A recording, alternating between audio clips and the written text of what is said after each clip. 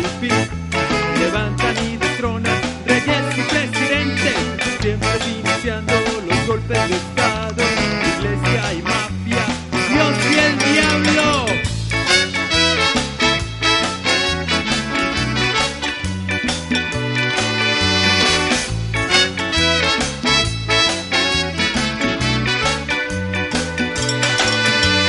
Vienen con tanta malicia y se dice acero en las palas, acero en las almas, vienen buscando el oro, petróleo, oro negro, oro podrido.